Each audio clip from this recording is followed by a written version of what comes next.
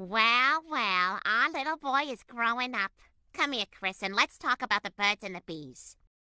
Now, imagine the man is this baster, and the woman is this turkey. The man takes his baster and very slowly places it in the turkey. Ew! Does the baster have to go into the dirty, smelly turkey? Why can't it just be with another nice, clean baster?